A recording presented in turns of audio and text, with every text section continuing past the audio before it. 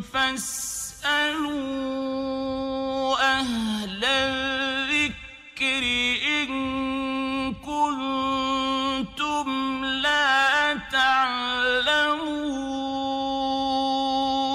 وعلیکم السلام ورحمۃ اللہ وبرکاتہ۔ کیسے معین الاسلام بھائی؟ خیریت سے ہیں؟ سب سے پہلے میں آپ سے اور اس گروپ کے تمام شرکاء تمام اخوان اور احباب سے معذرت خواہ ہوں کہ آپ کے سوالات کے جوابات کو میں وقت پہ نہیں دے پا رہا ہوں۔ اللہ ہم سب کی مدد فرمائے اور ہم سب کو دین کی نشو اشاعت اور صحیح عقیدے کی کی جو ہے تبلیغ کی توفیق عطا فرمائے۔ معین معین الاسلام بھائی، آپ نے جو سوال کیا کہ چاند کے دیکھنے کے وقت کون سی دعا پڑھنی چاہیے، تو اس سلسلے میں نبی کریم صلی اللہ علیہ وسلم سے کئی حدیثیں مروی ہیں۔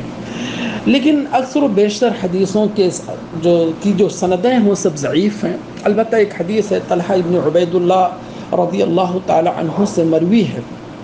جسے امام احمد نے اپنی مسند کے اندر روایت کیا ہے، جلد نمبر دو، صفحہ نمبر تین سو چھاچھٹ اور اس اور مسند کے محقق علامہ احمد شاکر رحمہ اللہ نے اس کی صنعت کو حسن قرار دیا ہے۔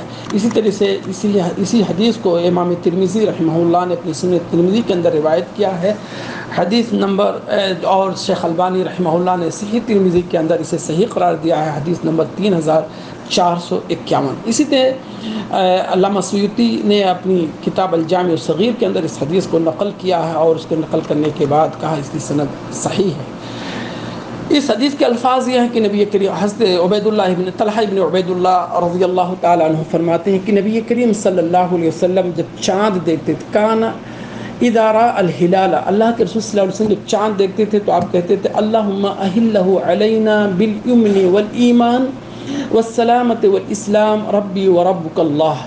اے اللہ، اس چاند کو ہمارے اوپر برکت، ایمان اور سلامتی کے ساتھ طلوع فرما۔ اے چاند ربی وربک اللہ، میرا رب اور تیرا رب اللہ ہے۔ تو یہ دعا نبی کریم صلی اللہ علیہ وسلم سے ثابت ہے۔ جیسا کہ ابھی دیکھا کہ اس حدیث کو جلال امام سیوتی رحمہ اللہ نے صحیح قرار دیا ہے الجامع الصغیر کے اندر، اور شیخ البانی نے صحیح ترمذی کے اندر اسے صحیح قرار دیا ہے۔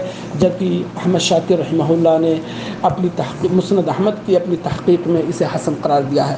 بنا بری اگر کوئی مسلمان اس حدیث کو چاند کے دیکھنے کے وقت پڑھتا ہے تو اس میں کوئی حرج نہیں، بلکہ یہی سنت ہے اور ہر مسلمان کو پڑھنا چاہیے اور ہر مسلمان کو چاند کے دیکھنے کی جو ہے چاند دیکھنے کی جو ہے کوشش کرنی چاہیے، کیونکہ یہ بھی سنت ہے۔ جیسا کہ عبداللہ ابن عمر رضی اللہ تعالی عنہ سے مروی ہے، وہ کہتے ہیں کہ نبی کریم صلی اللہ علیہ وسلم کے زمانے میں لوگ چاند دیکھ رہے تھے، ترا الناس الہلال کہ لوگ چاند دیکھنے لگے چاند دیکھنے کے لیے نکلے فرائی تو تو میں نے چاند کو دیکھا، تو میں نے نبی کریم صلی اللہ علیہ وسلم کو خبر دی، تو آپ صلی اللہ علیہ وسلم نے روزہ رکھا، اور تمام لوگوں کو روزہ رکھنے کی جو ہے تمام لوگوں کو روزہ رکھنے کا حکم دیا۔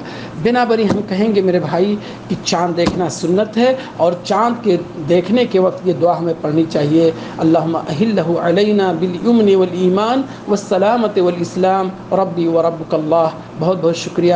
معين الإسلام بھائی ودساكم الله خير. والسلام عليكم ورحمة الله وبركاته.